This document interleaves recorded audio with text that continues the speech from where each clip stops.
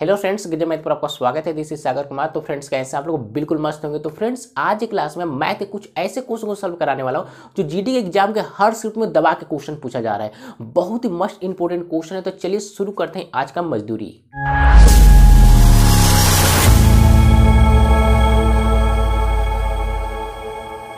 तो फ्रेंड्स, पहला क्वेश्चन आपके सामने स्क्रीन मौजूद है। इस क्वेश्चन के एक से दो बार रीड करें पढ़े, समझे, जाने क्वेश्चन को कैसे हल करेंगे।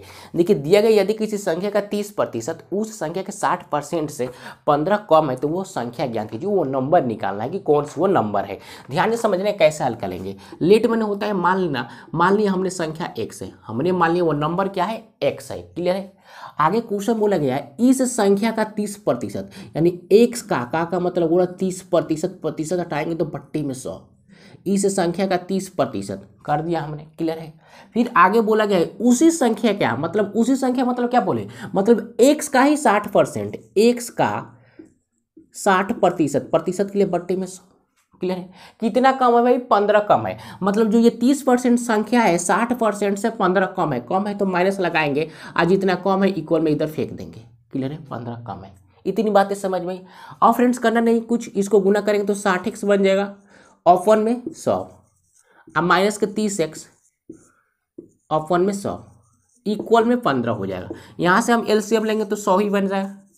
फिर करेंगे तो साठ एक्स माइनस के तीस एक्स, इक्वल में पंद्रह। इधर भाग में इधर फेंकेंगे तो गुना में जाएगा और माइनस करेंगे तो तीस एक्स आएगा। यानी तीस एक्स बराबर पंद्रह सौ। यहाँ से काटेंगे तो कितना आएगा? एक्स का वैल्यू पचास। यानी एक्स का वैल्यू पचास, यही तो हमारा संख्या है। संख्या हमने माना था एक्स एक्स का वैल्यू आ गया पचास मतलब हमारा संख्या क्या है? पचास है। करेक्ट आंसर क्लियर होगा? समझे कि नहीं समझे? डाउट परेशानी नहीं होगी। नेक्स्ट प्रॉब्लम पर आते हैं। तो गाइज़ अगला क्वेश्चन आपके सामने होगा। एक दुकानदार दो हज़ार रुपया अंकित मूल्य वाली एक वस्तु पर बीस परसेंट और पंद्रह परसेंट की क्रमिक छूट देता है तो वह वस्तु को किस मूल्य पर बेचता है? क्रमिक छूट समझते हैं मतलब लगातार छूट मूल्य छूट के ऊपर छूट डिस्काउंट के ऊपर डिस्काउंट रहे। इसी को बोलते हैं क्रमिक छूट, यानी सक्सेसिव डिस्काउंट समझे कि नहीं समझे? क्लियर होगा? देखिए, जब भी सक्सेसिव डिस्काउंट की बात आ जाए तो एक आपको एंटीबायोटिक पता होना चाहिए। क्या एंटीबायोटिक है? ध्यान से समझिए। सक्सेसिव डिस्काउंट बराबर हमेशा आपको पता होना चाहिए। एस डी बराबर लिखेंगे क्या? डी वन अब प्लस में डी टू अब माइनस डी वन गुने डी टू ऑफ़ वन में सौ। डी वन डी टू क्या है भाई? डिस्काउंट है और कुछ नहीं। दोनों डिस्काउंट को वैल्यू रख देंगे। क्लियर है? डी वन है कितना भाई? बीस प्रतिशत। और दूसरा क्या है? पंद्रह प्रतिशत। अब माइनस का बीस गुने पंद्रह वन में सौ। इन दोनों को चिपकाएँगे तो तीस, पैंतीस बनेगा। क्लियर अब माइनस यहाँ देखिए, कटेगा तो काट लेते हैं। इसको काटेंगे तो पाँच और पाँच सौ काटेंगे तो तीन। यानी कितना गया? तीन। माइनस करेंगे तो थर्टी टू परसेंट का डिस्काउंट मिला है। हमको बताना क्या है? कितने में बेचा है? प्राइस निकालना है। कितने में? दुकानदार ने उस वस्तु को कितने में बेचा है? तो देखिए, बत्तीस प्रतिशत का उसका डिस्काउंट मिल गया। रेट है कितना भाई? दो हज़ार दाम है। किसी वस्तु का दाम कितना है? दो हज़ार। उस पर बत्तीस प्रतिशत का डिस्काउंट मिल गया। तो बेचा कितना में होगा भाई? सौ पर बत्तीस प्रतिशत का डिस्काउंट यानी अड़सठ परसेंट में बेचा होगा। तो अड़सठ लिखेंगे। क्लियर है? अड़सठ लिखेंगे प्रतिशत। जब प्रतिशत हटाएँगे तो बट्टे में सौ होगा। दो ज़ीरो से दो ज़ीरो कैंसिल आउट अड़सठ का डबल कितना होगा भाई? एक सौ छत्तीस। अब पहले से एक ज़ीरो मौजूद है, यानी तेरह सौ साठ रुपया में उस दुकानदार ने उस वस्तु को बेचा होगा। क्लियर है? समझे कि नहीं समझे? तेरह सौ साठ रुपये में। क्लियर होगा? फ्रेंड्स अगला क्वेश्चन है पंद्रह सेंटीमीटर भूजा वाले एक वर्ग का विकर्ण का। उसकी भूजा से अनुपात ज्ञात कीजिए मतलब विकर्ण और भूजा का रेशियो बताना है। फ्रेंड्स समझिए कैसे निकालेंगे? देखिए, हमने एक वर्ग बना लिया ऐसे। क्लियर ये हो गया वर्ग। हम नाम रख देते हैं ए बी सी डी और ये एक विकर्ण हमने डाल लिया। ये हो गया विकर्ण। तो समझिए, देखिए, भूजा दिया गया कितना? पंद्रह सेंटीमीटर। ये भूजा है, पंद्रह सेंटीमीटर। और वर्ग के सभी भूजा आपस में बराबर होते सभी पंद्रह सेंटीमीटर ही होगा। क्लियर है? देखिए, हमको निकालना कि ये विकर्ण और ये भूजा का रेशियो तो भूजा तो दिया है, लेकिन विकर्ण है नहीं। तो विकर्ण कैसे निकालेंगे? समझिएगा। देखिए, इस त्रिभुज को देखिए। क्या ये समकोण त्रिभुज है? कैसे? यहाँ पे 90 डिग्री एंगल बनेगा। क्लियर है? तो 90 डिग्री एंगल बोलते राइट एंगल ट्रिंगल हो गया। राइट एंगल ट्रिंगल हो गया तो हम कैसे निकालेंगे?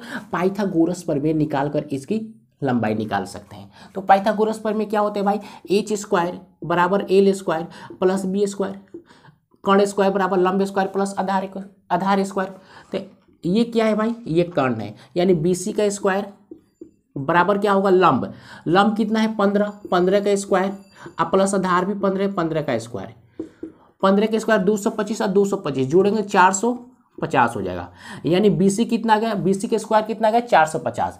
यहाँ पे देखिए स्क्वायर है, इधर फेंकेंगे तो स्क्वायर रूट में चेंज हो जाएगा, यानी खोपड़ी लग जाएगा स्क्वायर रूट हो जाएगा, वर्गमूल होगा। तो 425 का वर्गमूल कितना होगा? समझिए कैसे निकालेंगे? देखिए 425 हमने लिखा। इसका निकालना क्या है? वर्गमूल। तो दो से डिवाइड करेंगे। कितना होगा भाई? दो दो, पाँच। अब दो सौ तो जाए, नहीं जाएगा, तीन से करेंगे। तीन से करेंगे तीन सत्ते इक्कीस और तीन पचे पंद्रह। फिर तीन से करेंगे पच्चीस फिर पाँच सब जाएगा, पाँच। देखिए, हमको निकालना क्या है? ये क्या है? स्क्वायर रूट है, वर्गमूल है। तो वर्गमूल में दो दो अंक का जोड़ा लगता है तो ये दो ये दो। यानी पाँच, यही पंद्रह। पंद्रह रूट टू हो जाएगा। क्लियर है? पंद्रह रूट टू सेंटीमीटर ये आ गया क्या? विकर्ण की लंबाई। पंद्रह रूट टू सेंटीमीटर हमको निकालना है बिकर्ण और भुजा का रेशियो हमने बिकर्ण निकालना कितना? पंद्रह रूट टू रेशियो भुजा कितना है? पंद्रह है। तो पंद्रह से पंद्रह काटेंगे तो कितना होगा? Two root two ratio one यही हमारा करेक्ट आंसर हो गया। क्लियर है? डाउट परेशानी नहीं होगी नेक्स्ट प्रॉब्लम पे आते हैं। फ्रेंड्स अगला क्वेश्चन एक विक्रेता पचास रुपये में दस की दर से संतरे खरीदता है और उन्हें चौबीस रुपये में छः की दर से बेच देता है तो उसको लाभ हुआ, हानि यही बताना है, प्रतिशत में कितने परसेंट का उसको फ़ायदा हुआ, कितने परसेंट की हानि हुई। देखिए, पचास रुपये में दस वो संतरा खरीदता है और चौबीस रुपये में छः संतरा को बेच देता है। तो एक बात हमको बताइए, अगर मैं पूछूँ यहाँ से सी मतलब क्रय मूल्य, पचास रुपये में दस संतरा खरीदता है तो एक संतरा कितने रुपये में खरीदता है? करना क्या है भाई?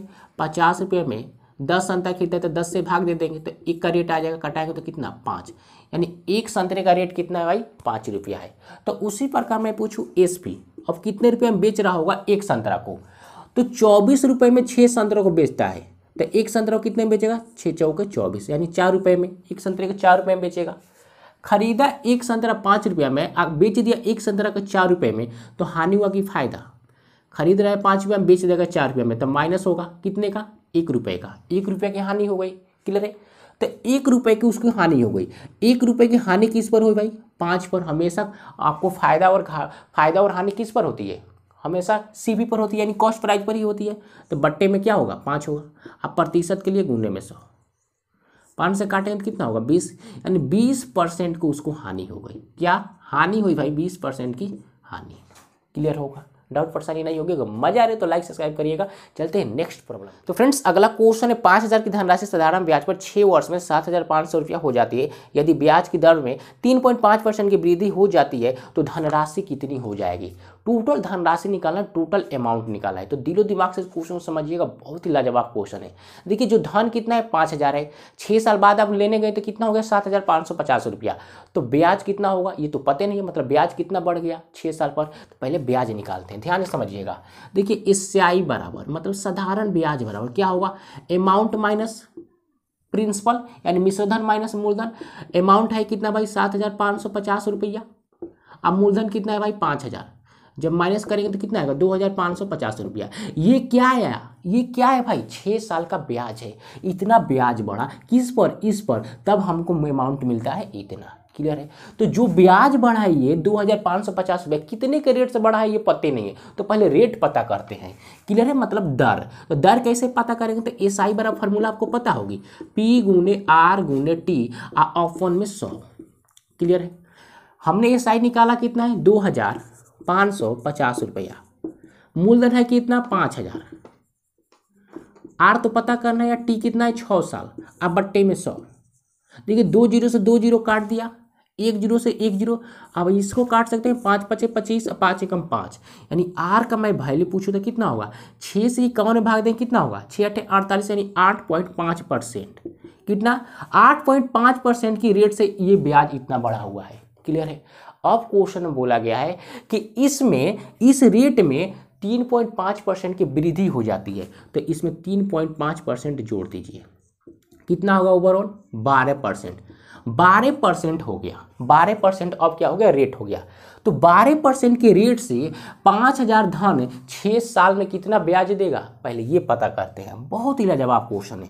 तो क्या करेंगे? एस आई बराबर। साधारण ब्याज बराबर। यही फार्मूला पी कितना है? पाँच हज़ार। आर कितना है भाई? बारह परसेंट छः साल में, अब बट्टे में सौ। दो ज़ीरो से दो ज़ीरो काट दिया। वार्षिक बहत्तर बहत्तर पच्चीस कितना होता है? तीन सौ साठ। तीन सौ साठ अब पहले से एक ज़ीरो यानी कितना हो जाएगा भाई? छत्तीस सौ ब्याज होगा। छत्तीस सौ ब्याज होगा बारह परसेंट की रेट से छः साल में। क्लियर होगा? किस पर? पाँच हज़ार पर। तो हमको बताना है टोटल धन कितना होगा। तो अमाउंट बताना है। तो अमाउंट कैसे बताएँगे? देखिए, धन है कितना भाई? पाँच हज़ार है। पाँच हज़ार टोटल धन कितना है? पाँच हज़ार। छः साल पर छः साल में बारह परसेंट के रेट से ब्याज कितना आया? छत्तीस आया। बस इन दोनों को जोड़ दीजिए। जोड़ेंगे तो कितना होगा? छियासी सौ। छियासी सौ हमारा करेक्ट आंसर है। क्लियर है? छियासी सौ, आठ हज़ार छः सौ हमारा करेक्ट आंसर होगा। बहुत ही लाजवाब क्वेश्चन है। इसको दिलो दिमाग से समझे होंगे तो डाउट क्लियर हो गएगा अगर आपको मज़ा आ रहा है तो लाइक करिएगा। न्यू है चैनल पर ताज़ा ताज़ा तो फ्रेश है एकदम तो सब्सक्राइब करने का। चलते हैं नेक्स्ट प्रॉब्लम पे। तो अगला क्वेश्चन है, एक लंबरीथी बेलन का आयतन छः सेंटीमीटर की हुआ है और उसकी ऊंचाई पाँच सेंटीमीटर है। तो उसका वक्र पृष्ठ का क्षेत्रफल ज्ञात कीजिए। ध्यान से समझिएगा, बहुत ही लाजवाब क्वेश्चन है, देखिए। बेलन का आयतन क्या होता है भाई? पाई आर स्क्वायर एच ये बेलन का आयतन हो गया। जबकि आयतन दिया कितना भाई? कितना है आयतन? छः हज़ार। छः हज़ार नौ सौ तीस। क्लियर है? अब समझिएगा। पाई का वैल्यू मैं रख सकता हूँ बाईस बटे साल आर को निकालना ही है हमको। अब उन्हें एच कितना है भाई? पाँच। छः हज़ार नौ सौ तीस।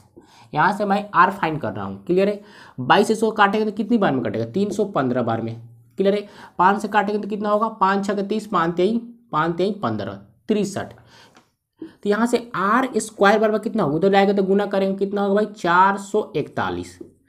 सात तरीका इक्कीस यानी चार सौ इकतालीस। क्लियर अब यहाँ से आर का वैल्यू पूछ रहा हूँ। यहाँ पे स्क्वायर इधर फेंकेंगे तो खोपड़ी चला जाएगा। क्योंकि स्क्वायर रूट हो जाएगा। अंदर आ जाएगा चार सौ इकतालीस यानी आर का वैल्यू इक्कीस। क्लियर आर का वैल्यू आ गया इक्कीस यानी त्रिज्या आ गई इक्कीस। हमको फाइंड करना है क्या? वक्रफिश क्षेत्रफल। वक्रफिश क्षेत्र क्या होता है भाई? Two pi R H two pi R H two रखेंगे, बाईस बट्टे सात रख सकते हैं। आर का वैल्यू हमने निकाला है इक्कीस और एच पाँच। सात तरीका इक्कीस, इन सभी को गुना करेंगे, इन सभी को तो आएगा छः सौ साठ।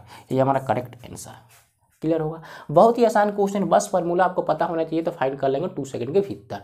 क्लियर अगले प्रॉब्लम पर फ्रेंड्स अगला क्वेश्चन दो धनात्मक संख्याओं का लघुत्तम समपर्तक उनके महत्तम समपर्तक का तेरह गुना है।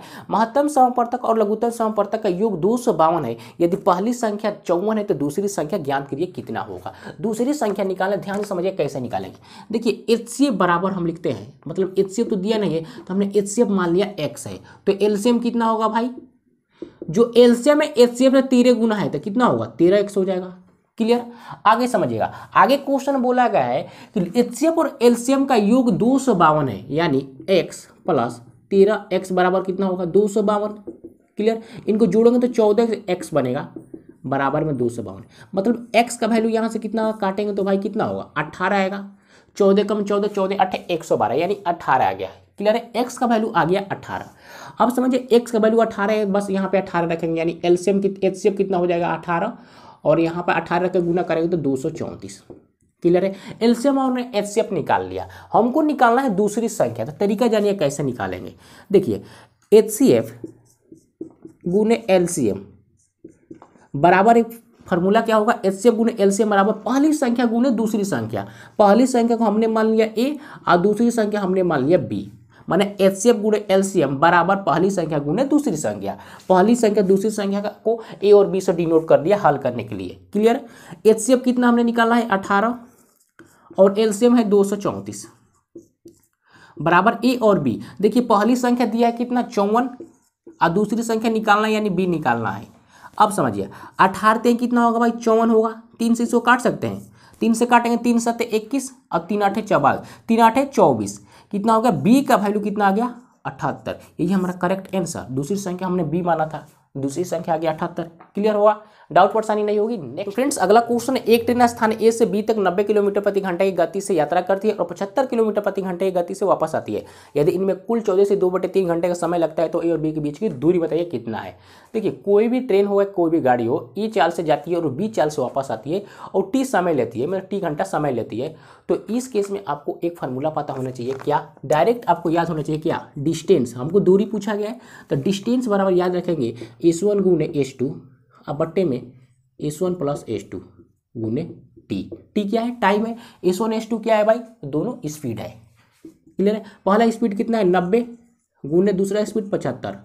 अब बट्टे में नब्बे, अब प्लस में पचहत्तर। और टाइम कितना है? चौदह से ही दो बटे तीन। चौदह से ही दो बटे तीन घंटा है। तो इसको तोड़ ले, चौदह तीन बयालीस, चार चौवालीस। चौवालीस बटे तीन होगा। तो यहाँ पर रखेंगे चौवालीस, बट्टे में तीन। अब इसको हल करिए। देखिए, दोनों गुना करेंगे तो सड़सठ पचास बनेगा। बट्टे में इन दोनों को जोड़ेंगे तो एक सौ पैंसठ। अब गुने में चौवालीस, बट्टे में तीन होगा। क्लियर है? अब देखिए, कुछ नहीं करना है, यहाँ पे तहलका मचाना है। कैसे कटेगा? इसको काट सकते हैं पंद्रह। पंद्रह कम पंद्रह पंद्रह कम पंद्रह। इसको कैसे कंद्रह कैसे कटेंगे? पंद्रह चौके साठ, पंद्रह पचे पचहत्तर, एक ज़ीरो। क्लियर है? तीन से इसको काटेंगे तो कितना होगा भाई? तीन से। पंद्रह तीन पैंतालीस यानी डेढ़ सौ। और इसको ग्यारह से ग्यारह चौक चौवालीस। यानी कितना हो गया भाई? पंद्रह चौके साठ। पंद्रह चौके साठ, यानी 600 हमारा करेक्ट आंसर हो जाएगा 600 किलोमीटर इतनी ही दूरी होगी ये और बीच की बीच की दूरी 600 किलोमीटर क्लियर होगा फ्रेंड्स अगला क्वेश्चन एक कॉलेज चुनाव में सीमा और गीता को कुल वैध मतों के चार अनुपात पाँच के अनुपात में मत प्राप्त हुए यदि पंद्रह मतों में से उन्नीस अवैध मत है तो सीमा और गीता के पक्ष में डाले गए मतों का अंतर बताइए कितना है फ्रेंड्स ध्यान से समझिए कैसे हल करेंगे देखिए एस से सीमा जी से गीता क्लियर है इनका रेशियो है चार अनुपात पाँच आगे समझिएगा देखिए चार अनुपात पाँच इनका रेशियो है। टोटल वोट कितना है भाई? पंद्रह हज़ार। टोटल वोट पंद्रह हज़ार। पंद्रह हज़ार में से उन्नीस परसेंट वोट जो है इनवैलिड हो गया, खराब हो गया, अवैध हो गया। तो सही कितना होगा? सौ में से उन्नीस परसेंट। सौ में से उन्नीस परसेंट माइनस करेंगे तो कितना बचेगा? इक्यासी परसेंट। यानी इक्यासी परसेंट क्या है? वैलिड वोट है, सही वोट है। प्रतिशत के लिए बट्टे में सौ। दो ज़ीरो से दो ज़ीरो। इन दोनों को ना करेंगे तो आएगा बारह हज़ार डेढ़ सौ। क्लियर है? ये क्या है? वैलिड वोट है मतलब सही वोट है। अब समझिए, देखिए, दोनों का रेशियो दोनों का डिफरेंस बताना है। इन दोनों का अंतर कितना है भाई? एक का अंतर है। एक का अंतर है तो एक लिखा। क्लियर है? इन दोनों रेशियो को जोड़िए। पाँच और चार कितना होगा? नौ। तो बट्टे में नौ। और जितना वैलिड वोट है, उससे गुना कर दीजिए। बारह हज़ार डेढ़ सौ। अगर नौ से इसको काटेंगे तो कितना होगा? नौ एक कम नौ उनतीस सत्ताईस और नौ पचे पैंतालीस और एक ज़ीरो। यानी साढ़े तेरह हज़ार क्या होगा? इनको बीच का डिफरेंस होगा। क्लियर होगा? समझ गए होंगे? तो फ्रेंड्स अगर आपको हल्का सा भी, चुल्लू भर भी, थोड़ा सा भी अगर आप क्वेश्चन समझ में आए तो एक वीडियो को लाइक करिएगा। और नया है, ताज़ा फ्रेश एकदम फ्रेश ताज़ा ताज़ा है तो इस चैनल को सब्सक्राइब करने का